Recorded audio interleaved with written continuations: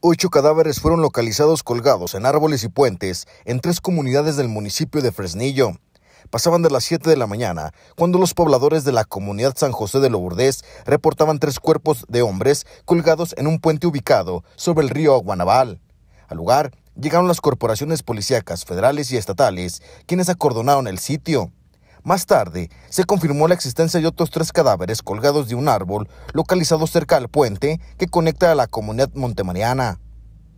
Mientras custodiaban el lugar del hallazgo, otros dos cuerpos, también colgados de árboles, fueron ubicados. Este tercer hecho ocurrió a un lado de la carretera estatal que une a los poblados San Ignacio y San Gabriel.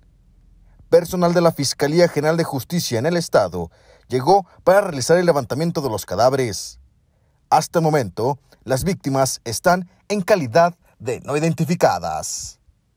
Ángel Martínez, Info 9 Zacatecas.